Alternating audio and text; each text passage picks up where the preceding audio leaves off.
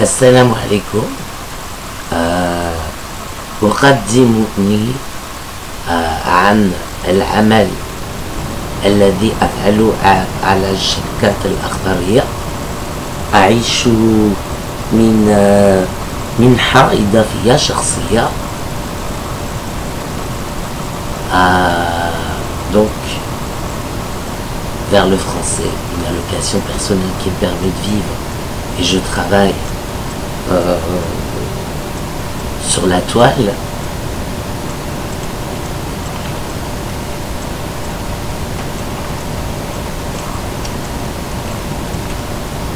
Je suis travailleur indépendant. On va utiliser le lexique pour trouver le terme juridique le plus approprié à sa, à sa définition.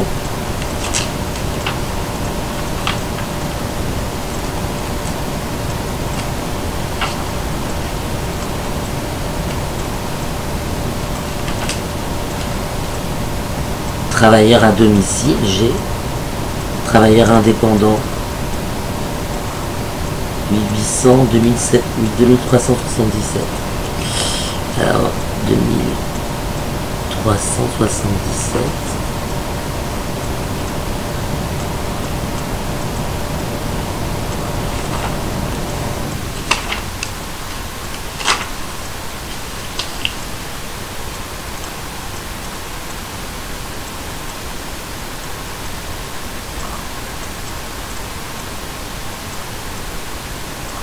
Ouais, ou il y avait l'autre.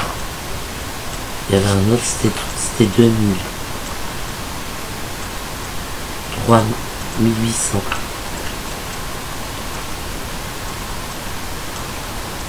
On s'en fout du, du revenu en fait.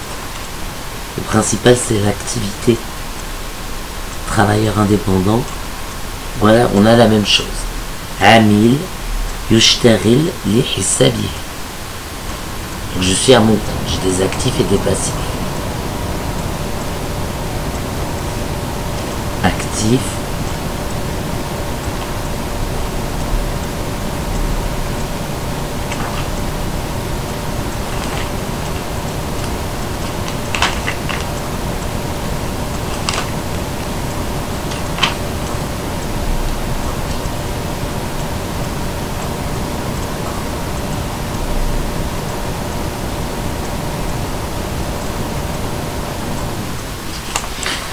Alors là, on va regarder pour les travailleurs indépendants comment on dit les actifs et les passifs. Puisque c'est un, travail indépendant. Ça, c'est pour remplir un CV quand on est euh, travailleur indépendant en arabe. Alors. Bon, ici, c'est le monde du travail. On a bien compris. Actif, le.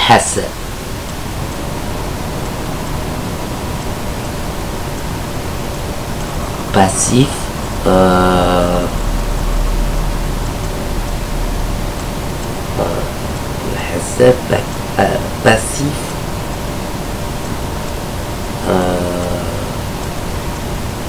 ال- م- ما ي- ال- المخروج الإخراج الإخراج الإخراج جوجل la production الإخراج ça vient d'Italie elle dit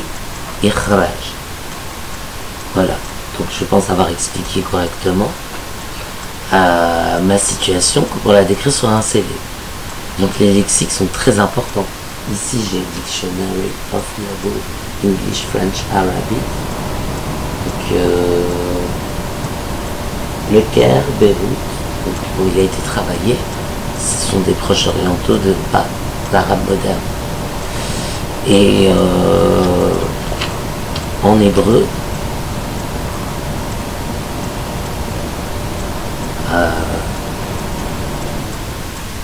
ממשיכים בעברית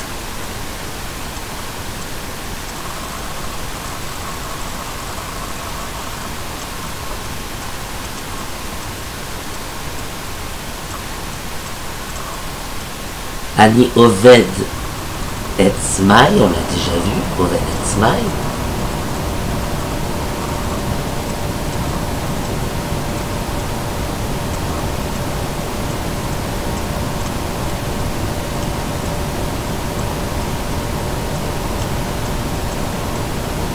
אני התמחות. אני בהתמחות. והקשרה sous it. Donc je suis en formation professionnelle, travailleur indépendant. Euh, maintenant le monde social, c'est pour ça que j'ai fait cette vidéo, parce que c'est ça, on l'avait déjà vu. Le monde social, les affaires sociales. Pour décrire sa situation, recours au lexique, après, ça devient une habitude puisqu'on les utilise couramment.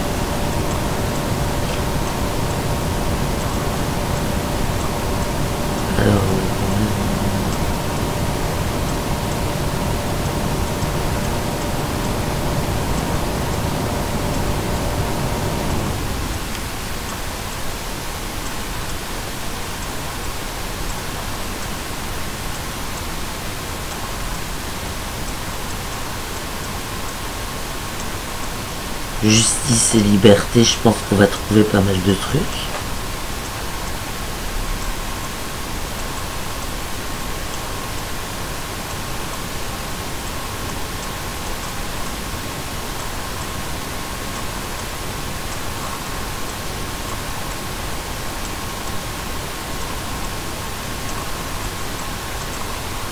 Non, ça n'a rien à voir. Plus loin, il y a l'armée et la sécurité ça, n'a rien à voir non plus. Politique et institution. Euh, le terme qu'on emploie en hébreu pour dire formation, c'est, on l'a dit, itmarot. Et euh, une allocation, là je vais avoir un dictionnaire très, très, très vendu. J'utilise vraiment les termes, c'est hébreu Larousse pour dire allocation. Parce que ça, c'est un actif. Alors en arabe, on a dit euh, Hansa, Hansa, euh,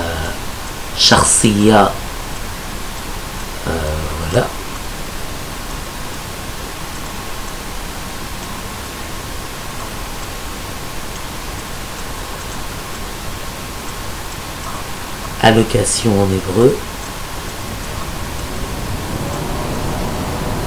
J'ai jamais vécu dans un pays euh, du Proche-Orient autre que touristiquement, donc là je me spécialise pour vous.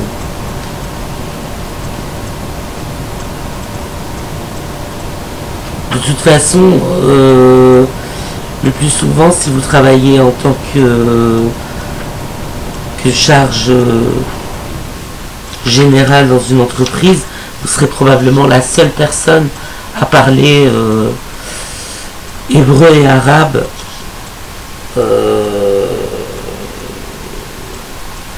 dans votre entreprise. Probablement.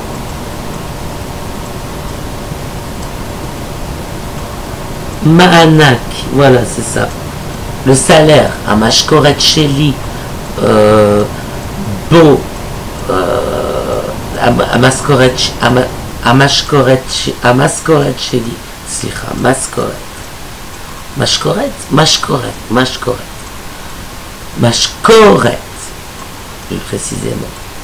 המשכורת שלי בא מגוגל, מיקרוסופט, ואני מקבל מענק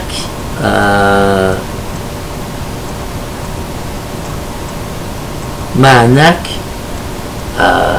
כדי לחיות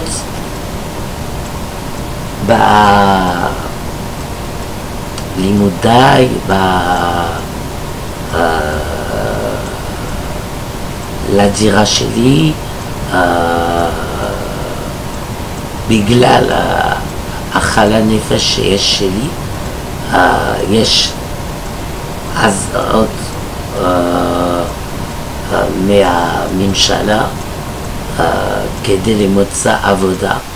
אז אה, לא מזמן אה,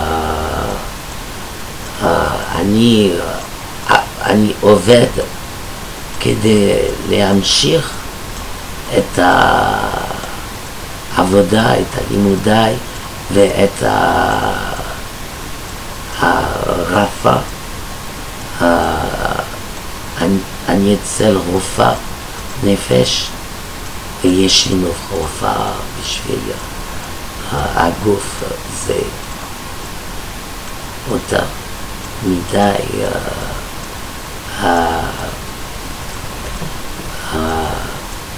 כדי